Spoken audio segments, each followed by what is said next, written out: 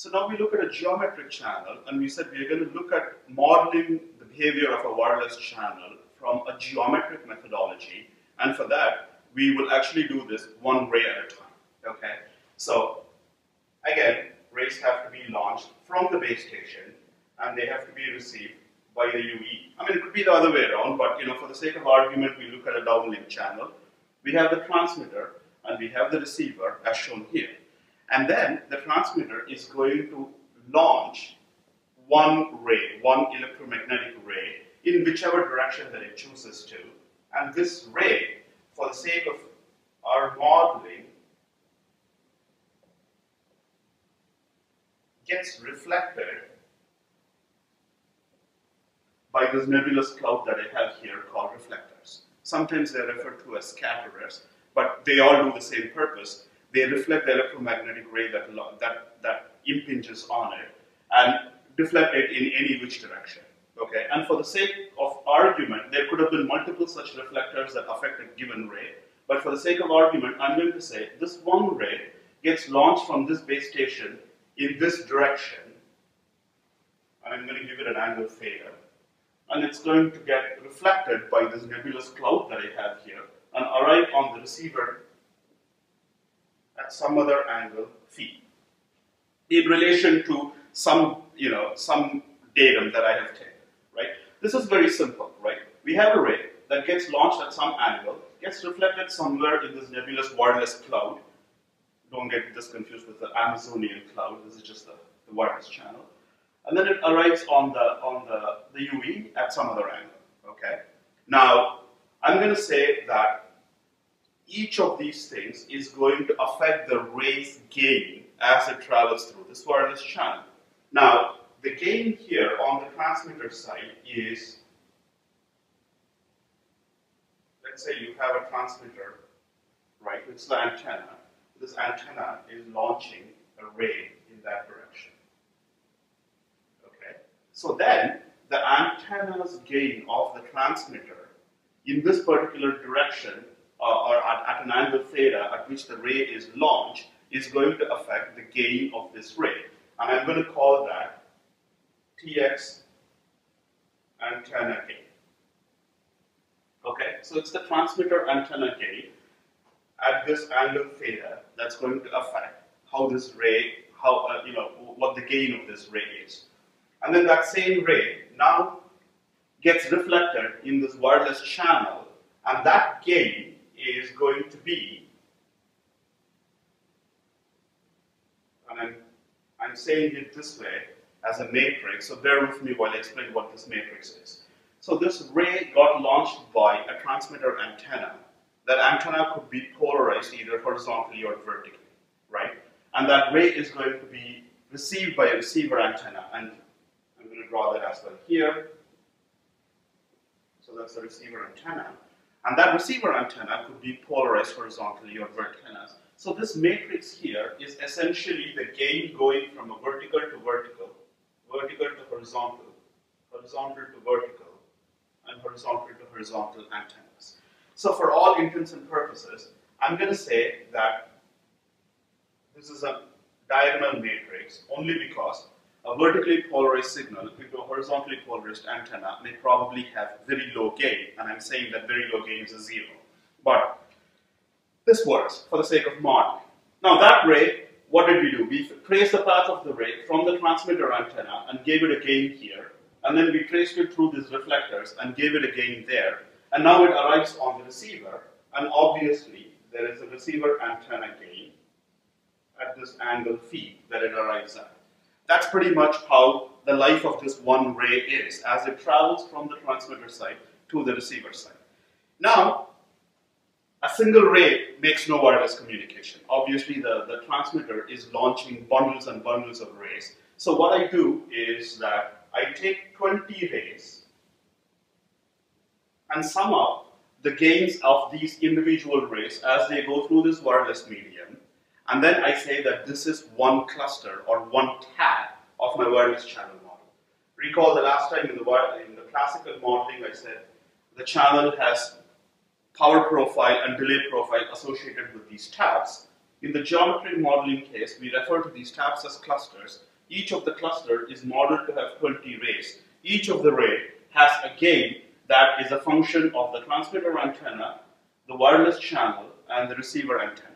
All right. If I did this, then I have modeled every tap or every cluster of my wireless channel in a geometric sense.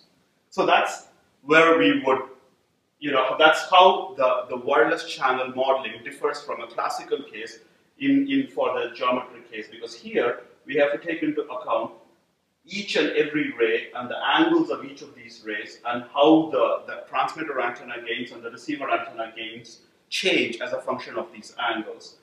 The, the channel's gains is not really you know, related to the angles, more so than the horizontal and vertical polarization of the, the transmitted electromagnetic ray as it was launched from the transmitter. Now, in some simple case, this is how a wireless channel will be modeled geometrically, but it doesn't stop here. We bring in a little more uh, uh, complications or a little more you know, uh, details into this. So we said that we have to understand how these the, the, the gains will change as a function of the angle, right? So we said a single ray has an angle theta and an angle phi, and therefore a transmitter gain as a function of the angle theta and a receiver gain as a function of the angle phi. Now, we also said that a cluster has 20 such rays, okay? So we said we have 20 rays that form a cluster that gets launched from the transmitter and then they get received at the receiver. And then we also said that the gain of each of these rays is a function of the angle theta and the angle phi. Now, obviously we don't want to launch all the 20 rays from the transmitter at the same angle because then it would have the same gain and it would just look like a single ray. But the rays as they get launched from the transmitter, they get launched in different well, they get launched at slightly different angles such that they now form a bundle that has a particular angular distribution. Okay, and the way that looks is it's got a Laplacian distribution. So we pick rays with a median value there, and then the other 20 rays have angles that are distributed around this mean angle in a Laplacian manner. So we have now 20 rays. We take these 20 rays and then we compute the transmitter antenna gains and then we compute also the receiver antenna gains. Just like how we had a Laplacian distribution on the transmit side, we also have a Laplacian distribution of the arrival angles. And so now we have 20 rays, each ray having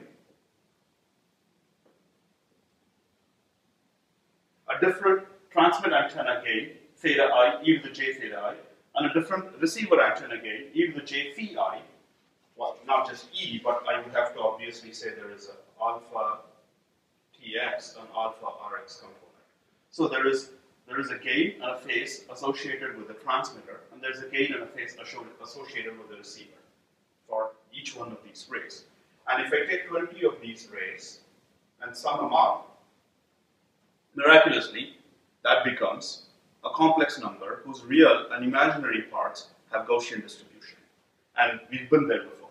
So if the real and the imaginary part are Gaussian, then that complex number has a Rayleigh distribution, and therefore, this particular thing, this particular summation of the, uh, the gains of 20 rays launched with a Laplacian distribution from the transmitter, received with a Laplacian distribution at the receiver, with a mean angle theta and phi, now looks like a Rayleigh coefficient, which is the same as how we model the wireless channel in the classical sense.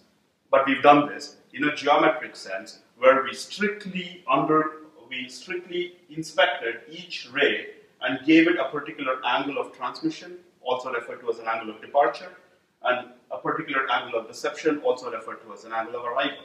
So we have an angle of arrival and an angle of departure distribution associated with this cluster.